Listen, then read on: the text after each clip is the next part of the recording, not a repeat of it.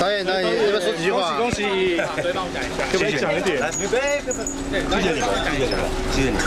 身穿白色 T 恤，明导张作骥缓缓走出台北监狱，面对媒体发问，他面露微笑，表示谢谢大家关心。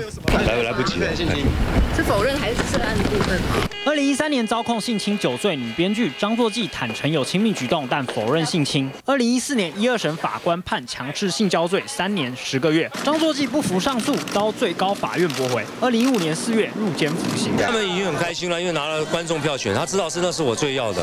开心高举奖杯，五十五岁的国际名导张作骥不但曾经获得国家文艺奖，还靠电影《当爱来的时候》勇夺金马四座奖项。服刑期间，甚至首创在狱中拍片，找来受刑人担任演员，拍摄电影《咸水鸡的滋味》，获得台北电影节最佳短片奖。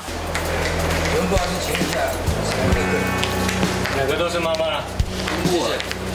入狱两年多，张若骥狱中表现良好，让矫正署核准他的假释申请。如今重获自由，明导不愿多谈，只希望能让生活回归平静。不管怎么样，谢谢你，谢谢。